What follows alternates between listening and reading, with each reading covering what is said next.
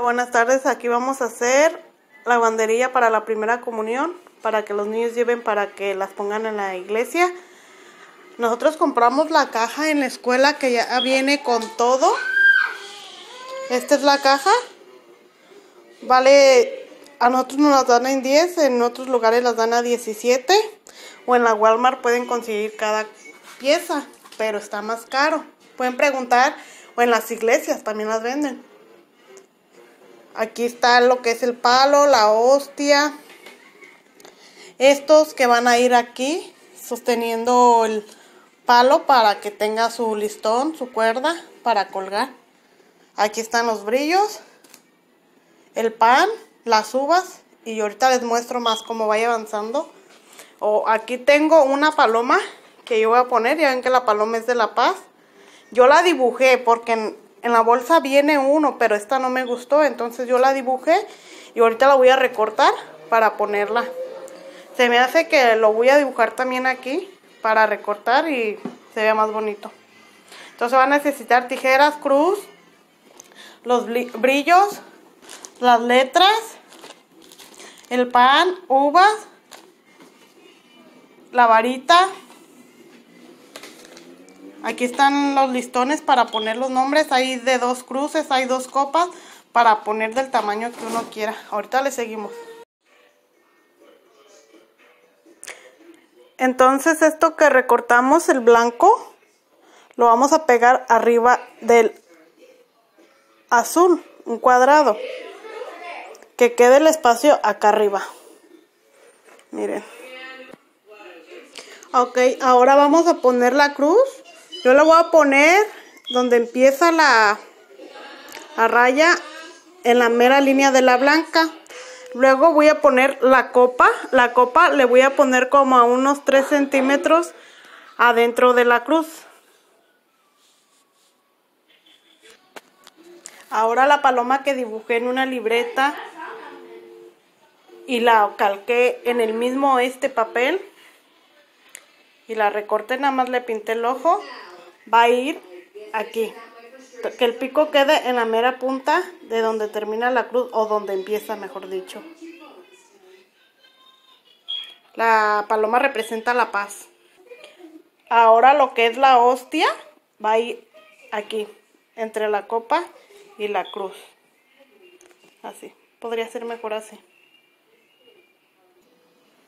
Ok, ahora vamos a poner para mí es el trigo, lo vamos a poner, pero lo vamos a recortar a esta medida, miren.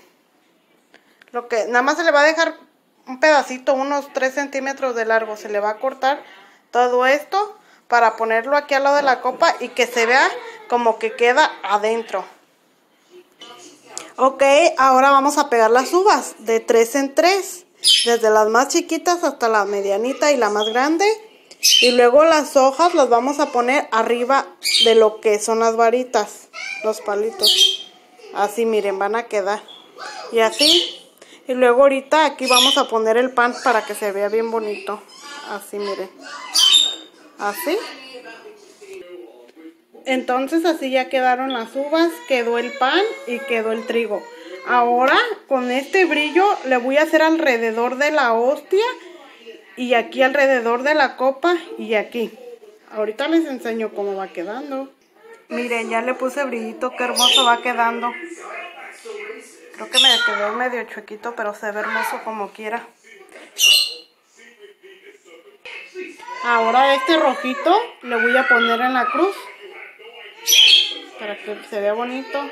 Ay, discúlpenme si se bajó la luz, es que se me descargó la pila. Y pues así va quedando, miren. Miren, le puse blanco a las palomas. A la cruz le puse rojo, pero hay que dejar que se seque, dura un día en secarse. Y falta todavía el nombre y ponerle la vara y el listón para que cuelgue. Miren, así va quedando Ahora quiero ponerle este listón. Este es opcional. Lo pueden omitir si gustan. Yo se lo voy a poner porque pues yo tenía aquí en casa. Miren, ya que pues la caja que nos venden en la escuela o en la iglesia no viene con este listón. Tiene más como este, este azul, pero pues yo teniéndolo pues lo voy a usar para que se vea todo más brilloso, muy bonito. Miren cómo les va quedando. Todavía me falta poner el nombre. Pero creo que ya ocupé mucho, no sé dónde va a ir. Y aquí vamos a poner este, aquí lo voy a recortar para que no quede triangulado, quede encuadrado. Y aquí va a ir su nombre en la mera orillita. Y pues así quedó. Aquí le puse la fecha, el mes y el año de cuando va a ser su primera comunión. Y aquí le voy a poner estos brillitos para que luzca mejor. Y así fue como quedó mi banderita para la primera comunión. Espero les agrade y les dé una buena idea. Que estén bien.